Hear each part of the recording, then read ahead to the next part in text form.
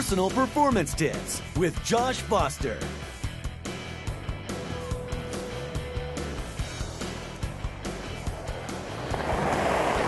It's a beautiful spring day here at Big White. The snow is fast. I'm going to head out and do a little bit of cruising. Going to be doing a little bit of carving maybe a little bit later too. You know, one of the things that I see a lot out on the mountain, especially when people are skiing over rolls and whatnot, is their upper body attitude reveals their mental attitude. If you go over those little rolls with your shoulders back, just like that, then that tells me that you're maybe a bit nervous or a bit apprehensive. I'm going to give you a couple of tools today to show you how to fix that up. Here we go.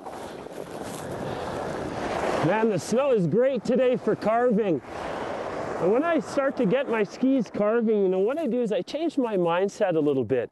I'm a little bit more aggressive, and I show that in my stance. I kind of bring my shoulders a little bit more forward so they're over top of my knees. You know, the wing of a plane, this angle here is called the attitude. Sometimes it's called the angle of attack. When I'm carving, what I do is I put my upper body into an angle of attack. Let's go try a few more here.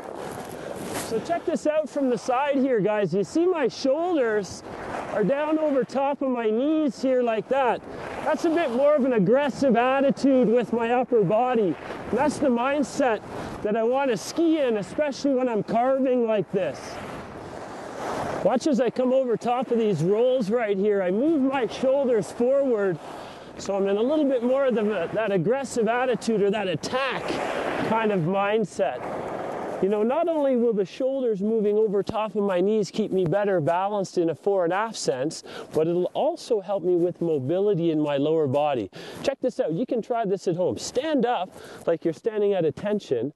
Now try to pick up one of your feet doesn't move all that well. It moves for sure, but not that great. Now try this. Watch from the side.